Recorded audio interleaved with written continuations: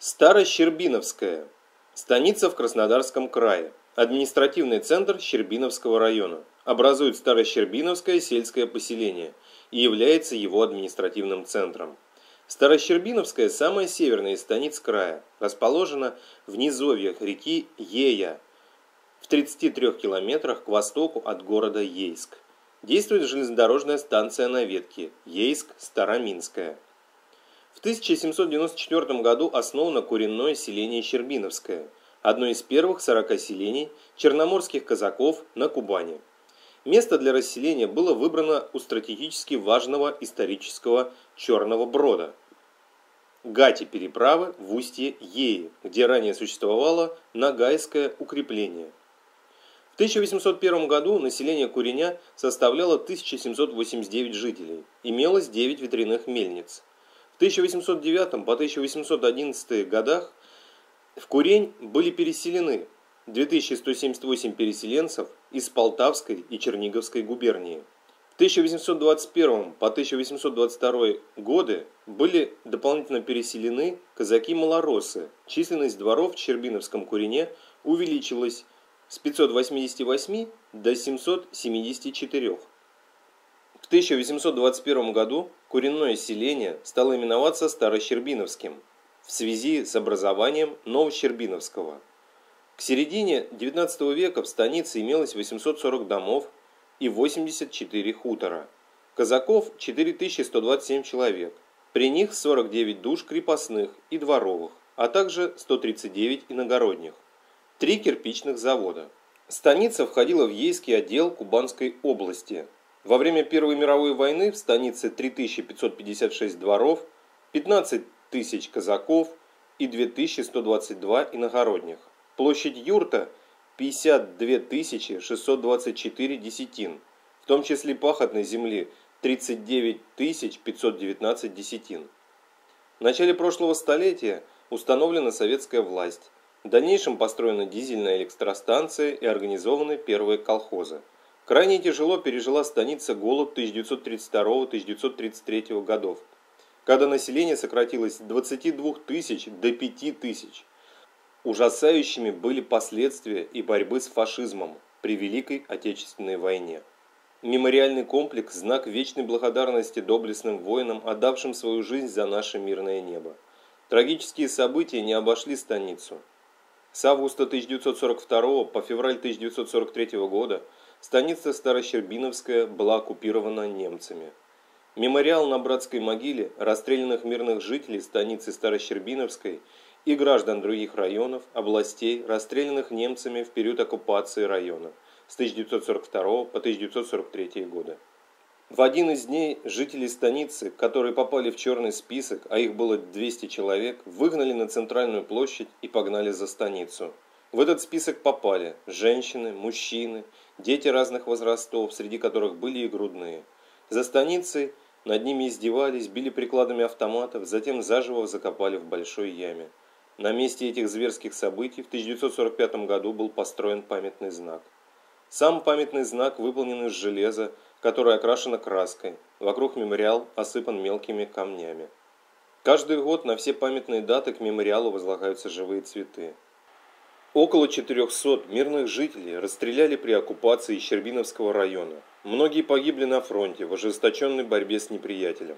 Станица гордится своими земляками, сражавшимися с фашизмом. Некоторые из них были удостоены наград за особые отличия на государственном уровне. Жители района отличились особым мужеством во время оккупации. В станице Старощербиновская действовала подпольная организация, в которую входили учительница школы номер 3 Екатерина Гришко и ее сын Аркадий, которому в 1943 году исполнилось только 17 лет. Перед отступлением Красной Армии в районе был создан Щербиновский партизанский отряд, состоявший из 65 человек. В составе отряда воевал начальник Щербиновской милиции Анатолий Герман. Партизанский отряд дислоцировался в Гастагаевских лесах у Крымска. Действия этих людей спасли жизни двух тысяч жителей станицы Старощербиновской, занесенных в черный список. Всего на защиту Родины на фронт ушло более 6 тысяч щербиновцев. Более двух с половиной тысяч погибли, около трех тысяч считаются пропавшими без вести. В станице остались в хорошем состоянии полтора десятка домов, принадлежавших семьям зажиточных воинов-казаков, появившихся в конце XIX – начале XX века. Они неизменно привлекают внимание и являются памятниками архитектуры. В центре Старощербиновской курортники встретят памятный знак, установленный в честь казаков, стоявших у истоков основания станицы. К его созданию приложила руку группа энтузиастов, даже был объявлен конкурс, выбравший лучший проект будущего объекта. В итоге открытие достопримечательности состоялось в 1992 году, когда сельчане праздновали 200-летие своего населенного пункта. Скульптура удачно вписалась в центр. Здесь на площади часто проходят районные праздники, любят бывать земляки, подножию памятника приносят цветы, фотографируются, фигура казака привлекает гостей станицы. Памятник полюбился людям, от чего кажется холодный камень, наполнился теплом, а самое главное, уже сыграл огромную роль в расставлении правильных исторических приоритетов. Соприкоснуться с прошлым края также можно, посетив местный историко-краеведческий музей. Его основали в 1961 году благодаря усилиям Марии Пастернак, учительницы истории. Изначально тут функционировало всего два выставочных стенда.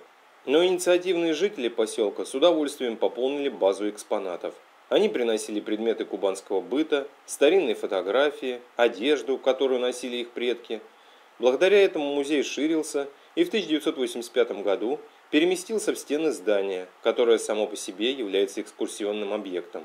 Оно появилось в 1912 году и было собственностью зажиточного казака – сам по себе дом красивый и заслуживает особого внимания. Усилиями сотрудников и горожан собраны удивительные коллекции. Что-то ранее являлось частью быта предков тех, кто проживает здесь. Отдельные экспонаты обнаружены при проведении раскопок. Весной 2008 года здесь открыт еще один экскурсионный объект, наполненный историческим мотивом. Это бюст Алексея Даниловича Бескровного, генерал-майора наказного атамана Черноморского полка, Бравый молодец с ранних лет приступил к службе. Во время сражений с Наполеоном проявил мужество и отвагу. Благодаря достижениям на полях боя получил звание полковника, а впоследствии стал командиром доблестного Черноморского казачьего войска. О его подвигах слагают легенды, и им гордятся станичники. Приезжие посещают этот памятник, прогуливаясь по станице, а молодожены приносят к нему цветы. Известные люди станицы Старощербиновской – Арчаков Павел Ильич, советский военнослужащий, участник Великой Отечественной войны, полный кавалер Ордена Славы. Жвавый Николай Федорович, доктор медицинских наук, профессор, ректор Тюменского государственного медицинского института. Колесников Петр Андреевич, российский историк, заслуженный деятель науки Российской Федерации. Короленко Григорий Федотович, участник Великой Отечественной войны, герой Советского Союза. Лепидевский Анатолий Васильевич, советский летчик, генерал-майор авиации, первый герой Советского Союза 1934 года. тут интересный. Проживал в станице Старощербиновской с 1917 по 1925 годы. На 2019 год в станице проживает 16 906 человек. Большая часть населения станицы русские, 94,9%.